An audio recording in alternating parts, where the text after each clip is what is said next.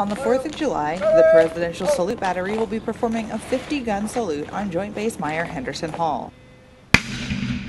According to Army regulations, in commemoration of the Declaration of Independence, a salute to the Union, 50 guns, will be fired at 1200 hours on Independence Day at all Army installations provided with the necessary equipment for firing salutes.